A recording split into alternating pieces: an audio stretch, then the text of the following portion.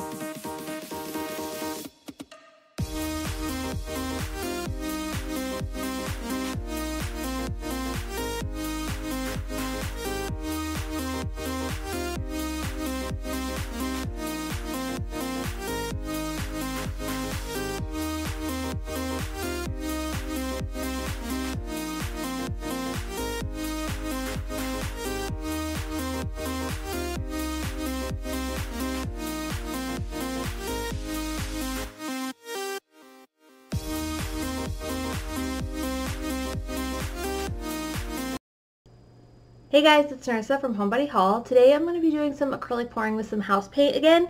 Um, I'm going to do a flip cup pour. Uh, for all the details, paint colors, and everything, check out the post linked down below. And let's get started.